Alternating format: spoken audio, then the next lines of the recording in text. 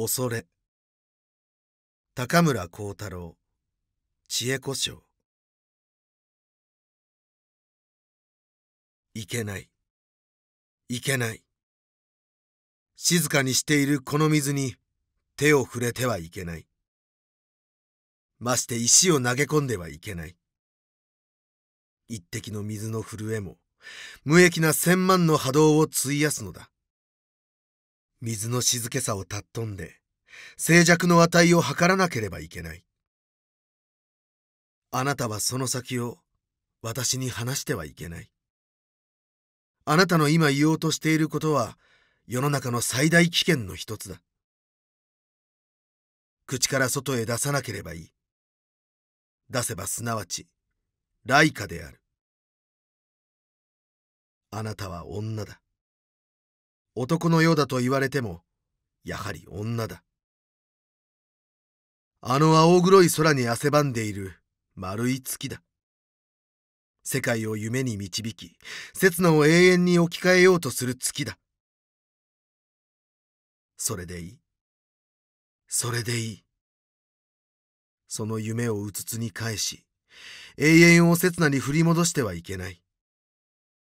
その上この澄み切った水の中へ。そんな危ないものを投げ込んではいけない。私の心の静寂は血で買った宝である。あなたには分かりようのない血を犠牲にした宝である。この静寂は私の命でありこの静寂は私の神である。しかも気難しい神である。夏の夜の食欲にさえもなお激しい情乱を引き起こすのである。あなたはその一点に手を触れようとするのか。いけない。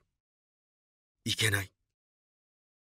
あなたは静寂の値を測らなければいけない。さもなければ非常な覚悟をしてかからなければいけない。